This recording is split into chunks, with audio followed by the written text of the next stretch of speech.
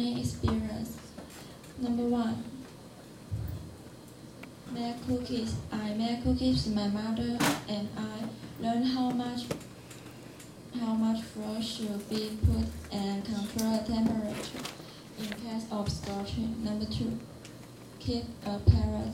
Keep pet made me have a great responsibility and learn how to interact with animals.